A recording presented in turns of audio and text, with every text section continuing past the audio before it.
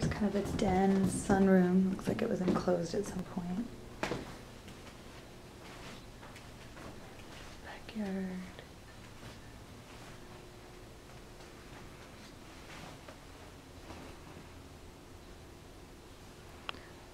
And this leads in back into the living room.